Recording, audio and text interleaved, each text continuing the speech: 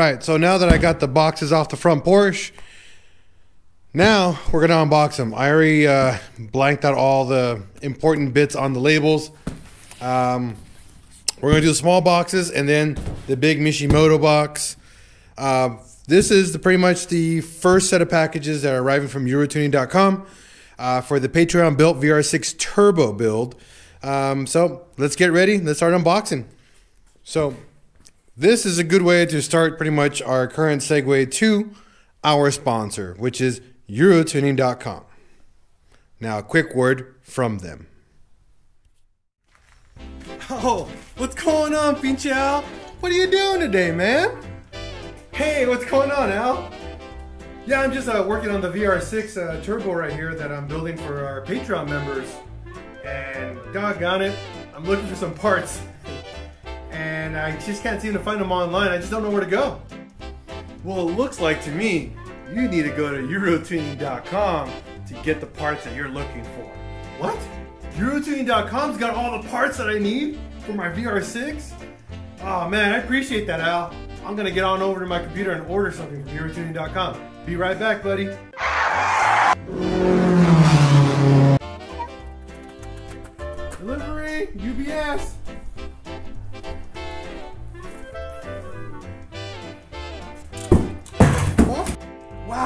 Package. That was super fast. Thank you, UROTuning.com. Now, with that out of the way, let's open up the small box first. All right, we're gonna go small, medium, large. Hopefully, this is good stuff. Um, I'm not a big fan of fancy unboxing. I just like unboxing stuff, you know. So all those people out there, you know, doing super expensive unboxing, I guess if you guys like that stuff, go for it. But this is kind of how I do it.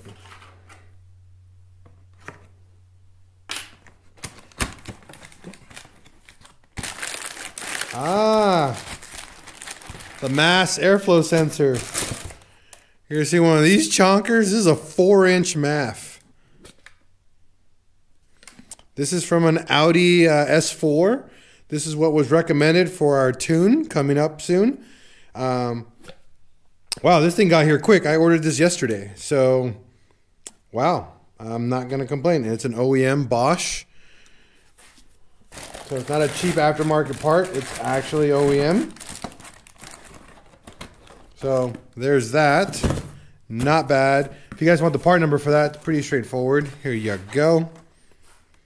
0280218067.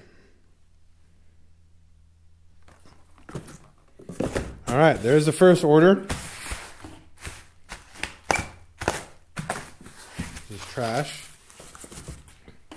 All right, now the medium box.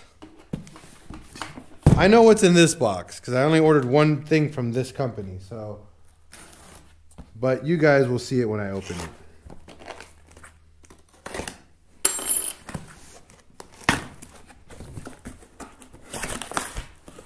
Another box. Oh yes, yeah. All right, all right. I'm excited. Innovate. This is a wideband O2 sensor gauge uh, pod, or yeah, O2 sensor gauge. Yeah, um, this is for we get live feedback for pretty much our big turbo car, and I went and got the best one we can get for the car. So this comes with the pretty much the O2 sensor, wideband O2 sensor, uh, serial uh, data cable for data logging, uh, the actual gauge itself with the wiring, a bung, and what is this guy over here?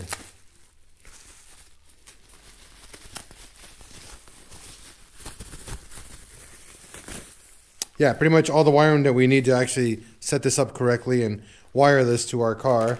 Um, I'm stoked. Uh, this is one of my favorite gauges. I have this in my Mark IV GTI uh, from Innovate uh, Motorsports. This is one of the best gauges out there.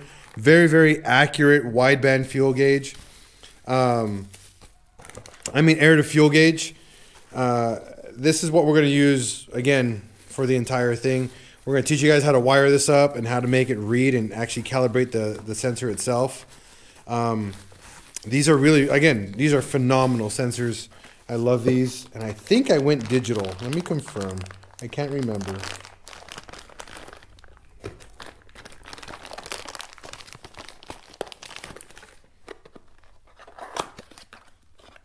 Yeah, I went to a full digital gauge. Very, very compact. It just mounts super easy. It's a 52 millimeter gauge. And pretty much it's a full digital gauge with the smoke tinted. Easy, easy product to, to install. I've installed quite a few of these on some of my cars and other people's cars. Um, very, very needed, especially when you start going turbo. Um, again, very excited for this.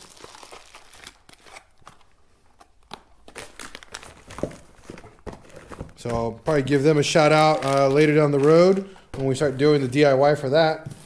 Hopefully you guys are excited for that because these are, again, they're easy to install and they're worth it.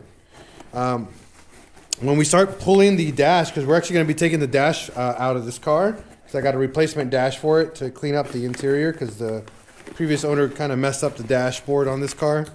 So this will be a perfect to perfect uh, time to wire the, the, the O2 sensor through the main bloom when the dash is out. So we get a really, really clean install for this guy. Super, super cool. Uh, is there anything else? Nope, nothing else in the box. Now we go to El Gigante, the big old box. More likely it opens on the sides.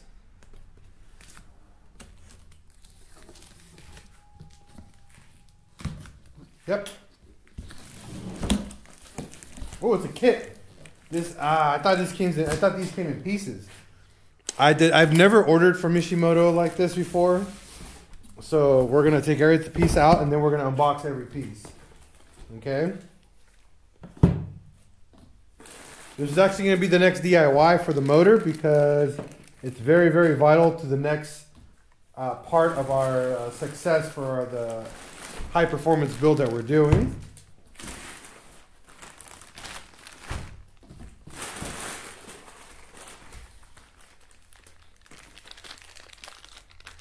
I'll set this aside. There's nothing else in the box.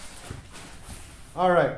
So first things first, ah, we get an air freshener with a little uh, suction cup and pretty much uh, probably a catalog. So I'm not to open this up, but we're to I'll probably give this to one of you guys on Patreon.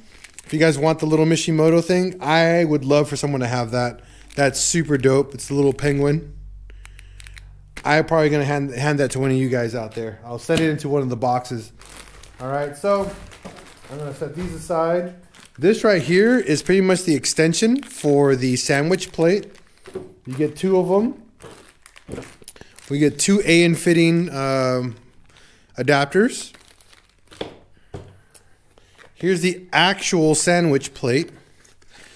And this is extremely important so you guys understand when you guys do oil coolers. Um, the sandwich plate is pretty much what transfers extra oil to the side. Um,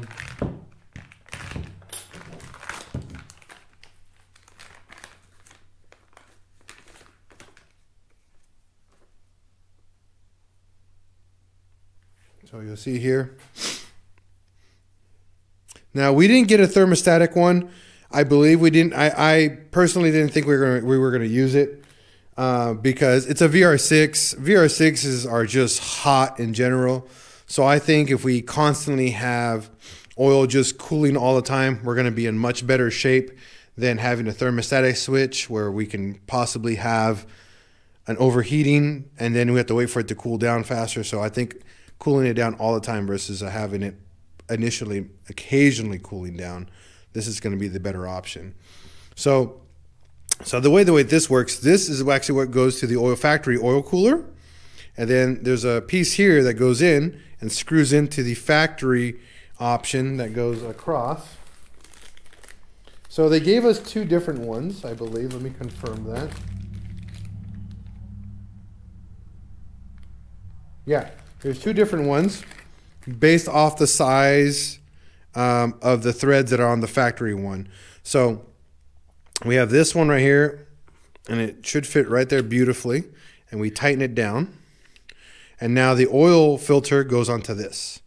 Now, depending on the oil filter we're using, that's pretty much what's going to be going there. Now, on this car, it has an external um, oil filter. It's separate from here. So we have to get the one that comes on here and see closes this, um, which is the other little like that plastic cover that goes on here. So we have to do this, and then we get the cover that goes on here, and that seals that. So we no longer have uh, oil going through this. This is just be sealed and done.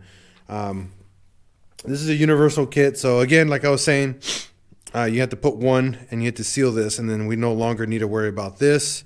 And then we just have this guy doing its job. Pretty freaking cool. But see here, it's a loosey goosey. It's not the right one. They ship you a much larger one.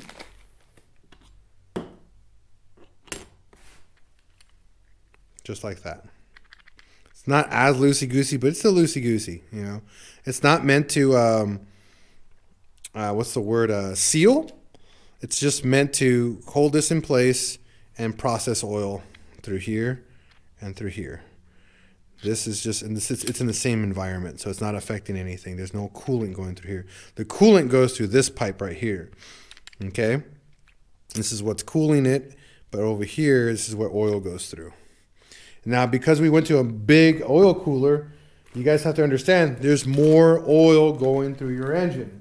So add five quarts like normal, let it run for like a few seconds, and then flush it through. Uh, what's going to happen though, guys, when this is process, when you're doing this, um, I wouldn't attach this to the car, um, or if we do, um, yeah, you're gonna run metal shavings all through your uh, oil cooler, so it's gonna take a while to clean all that. Again, it's one of those things that we might have to do prior. We don't not 100% sure on these motors. So now we're gonna open up the actual cooler itself.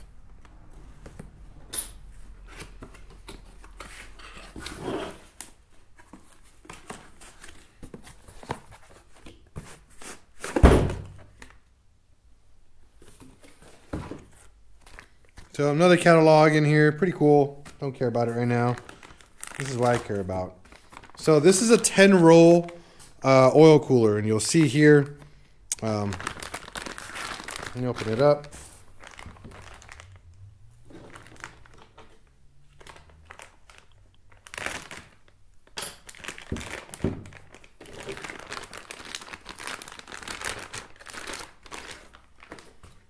You can see here why it's called a 10 row. 1, 2, 3, 4, 5, 6, 7, 8, 9, 10. 10 rows of actual cooling. Um, they already have pre AN fittings installed, which is really, I mean, yeah, AN fit uh, threaded fittings already ready. So, ready to go. And then this guy right here. They gave us two of the exact same line, so I'm not to open both of them. I'm to open one.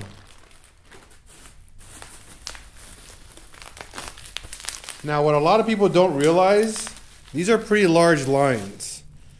And these lines, okay, take up a lot of oil on the inside of these. So you have to accommodate for all the oil that's to go in here and all the oil is going to go on two lines. A lot of times, a 10 row a 10 row cooler takes about an extra quart of oil, give or take. A 16 row will take up almost two quarts of oil in total. So, whenever you guys do these builds, uh, these oil external oil coolers, definitely check your oil levels. And then when you're when you're done doing what you're doing, say you're doing an oil change, you drain the oil, you pull the lines off of this, and you drain the oil out of this as well. Do not, and I repeat, do not just leave the oil in this when you do oil changes. You're just going to cycle through dirty oil. Okay? So we get two of the exact same lines, um, pretty much from um, to go to lo- when we locate this. This guy is going to be located. I'm kind of figuring out if I want to locate this at the front of the of the car or the bottom right uh, by the driver side of the car um, fender line. There's a perfect spot to build a bracket and mount it there and get direct airflow pretty much from the right air duct um, from the uh, Bora R front bumper, which is perfect for this. I mean, if we're gonna stance it and be all super cool, we can mount this at the front of the radiator, right at the center uh, radiator, if we want to be really cool and run the oil lines through that. Again, I don't know. It's your guys' choice, but this is the first unboxing that we have. Uh, we have more parts coming pretty much every day starting Monday and so forth. So every time we get a batch of, um, of boxes, I'm just going to unbox them, put them back together, and store them until everything shows up. We're going to do a DIY on the oil cooler sandwich and everything so you guys can um, see how that's put together. And that way, if you guys want to make the decision of using this, go for it. But thanks for watching this episode of Pinche Al's uh, Garage with an unboxing from UROTuning.com. Hit that smash, uh, wait, ah, smash that subscribe button and like. And as always here at Pinche Al's Garage, we're going to break, we're going to fix, and we're going to repeat. Peace out, everyone, and have a wonderful day.